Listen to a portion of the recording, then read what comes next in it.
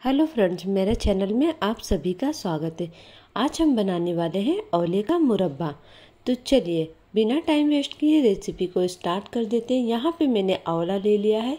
ये कच्चा औला है। इसे अच्छी तरीके से हमने धोकर पोछ दिया है। यहाँ हमने एक टोप में पानी रख दिया है गर्म करने के लिए। एक एक करके सारे औले के पीसेस को हम यहाँ पे पानी में डाल देंगे। और गैस को रखेंगे हाई फ्लेम पर। इसे बॉईल होने देंगे 10 से 15 मिनट के लिए। तो यहाँ पे देखिए हमने हाई फ्लेम पर गैस को रख दिया है। औला काफ़ी अच्छी तरीके से बॉईल हो रहा है। आप चाहे तो बीच बीच में चलाकर इसे चेक कर सकते तो अब मैं गैस को थोड़ा लो फ्लेम पर कर दे रही हूँ। दो से तीन मिनट के लिए मैं इसे ढककर पका लूँगी। तो चलिए चेक करते हैं। दो से तीन मिनट हो चुके हैं।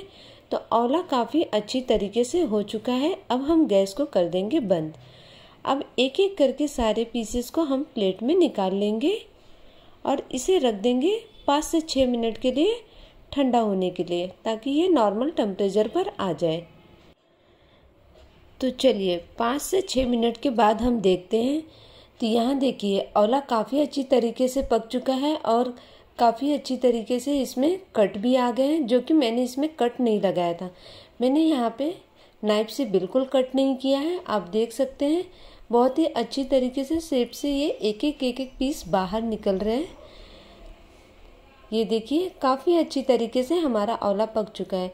तो आंवला अच्छी तरीके से ठंडा हो चुका है। एक फोक की मदद से हम इस तरीके से, बहुत ही नज़दीक नज़दीक से फोक से इस तरीके से हम होल कर लेंगे ताकि जो हमारा शक्कर का पाक है वो अच्छी तरीके से औले में मिक्स हो जाए।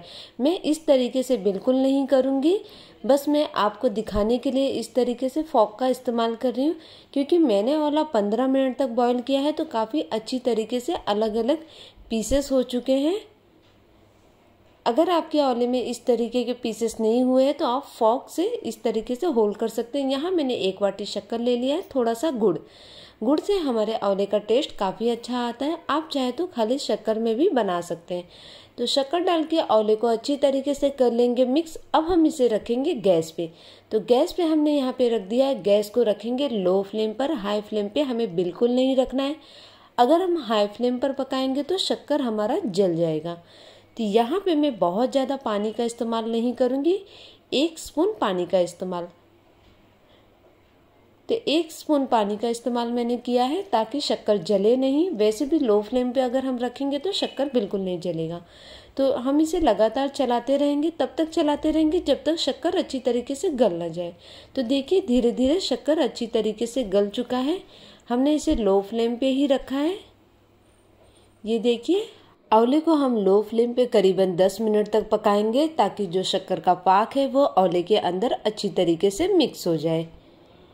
यहाँ पे मैंने एक छोटी इलायची ली है, उसे दरदरा कर दिया है। यहीं पे मैंने लिया है एक छोटा टुकड़ा सेना नमक। इसे भी हम डाल देंगे। सेना नमक से भी हमारे औले का काफ़ी अच्छा टेस्ट आता है। बहुत ज़्यादा सेना नमक का इस्तेमाल नहीं करना है। बस एक चुटकी से कम। डालकर अच्छी तरीके से कर देंगे मिक्स। तो यहाँ पर हम एक बार चेक कर लेते हैं। तो औला हमारा लगभग यहाँ पर पक चुका है। आप लोग देख सकते हैं अलग अलग पीसेस भी हो गए हैं। अब हम गैस को कर देंगे बंद। यहाँ हमारा औला बनकर रेडी है। देखिए, एकदम जूसी और बहुत ही आसान तरीके से। तो आप लोग भी इस तरीके से अपने घर में आंवला मुरब्बा ज़रूर बनाइए। तो यहाँ हमारा आंवला मुरब्बा काफ़ी जूसी बना है। वैसे आंवला सेहत के लिए काफ़ी अच्छा होता है। मौसम के हिसाब से इसे खाना चाहिए। ये बालों के लिए भी काफ़ी फ़ायदेमंद होता है। तो देखिए कैसे अलग अलग पीस पीसेस हो गए हैं। मैंने इसे नाइफ से बिल्कुल कट नहीं किया था। अगर आप लोग को मेरी रेसिपी अच्छी लगी तो वीडियो को लाइक सब्सक्राइब शेयर करना बिल्कुल ना भूलें। साथ ही में बेल आइकन क्लिक कर